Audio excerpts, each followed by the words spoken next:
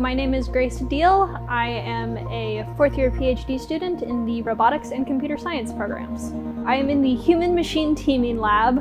I work on the machine side of it, doing the distributed artificial intelligence, specifically my place for swarm robotics, although we also sometimes do work with multi-robot systems. And then the other side of the lab does more the human-machine interaction side of it. One of the things that I have learned from applying algorithms to robotics problems is a lot of the assumptions that you make when you're just writing theory papers don't work when you put them in the real world. Robotics is a lot of fun for algorithm development for exactly that reason, because you get to find the problems and then fix them. Even at the first field exercise where we were flying five or 10 UAVs at a time, it was so cool just to get to actually see robots acting in the real world because I've pretty much only seen them in YouTube videos or then in my own work in simulation. Getting to see the swarm be developed over time up to the point where we're able to do 130 platforms at once was incredible.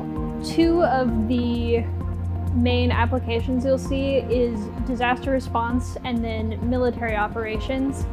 Really when you want them is when you have a large environment with lots of cooperative tasks so that the robots can go out and all work simultaneously towards a goal. An example would be the military case doing recon or surveillance, um, and in the disaster response case doing things like looking for survivors or building inspections. Because of the variety of research that Oregon State offers, we end up with a wider variety of students. So I'm more on the software side of things, but sometimes I have a hardware question and I can just walk over to a next door lab and go, hey, how do I do this? And there's always someone there with that expertise.